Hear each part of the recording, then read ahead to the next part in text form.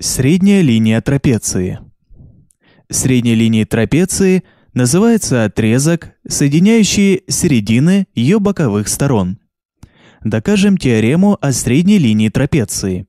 Теорема. Средняя линия трапеции параллельна основаниям и равна их полусумме. Доказательство.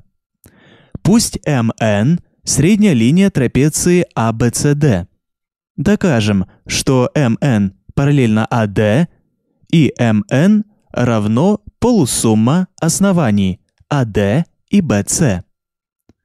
По правилу многоугольника вектор МН равен вектор МБ плюс вектор BC плюс вектор CM.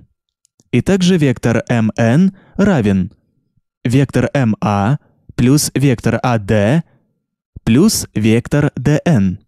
Сложив эти равенства, получим 2 вектор МН равно вектор МБ плюс вектор МА плюс вектор BC плюс вектор АД плюс вектор CN плюс вектор DN. Но M и N – середины сторон AB и CD. Соответственно, поэтому вектор MB плюс вектор MA равно нулевой вектор. И вектор CN плюс вектор DN также равно нулевому вектору.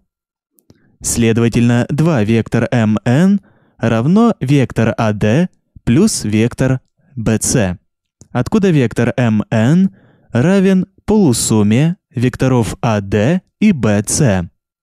Так как векторы AD и BC сонаправлены, то векторы MN и AD также сонаправлены.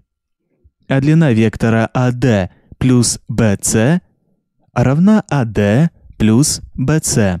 Отсюда следует, что MN параллельно AD и MN равно AD плюс BC делить на 2. Теорема доказана.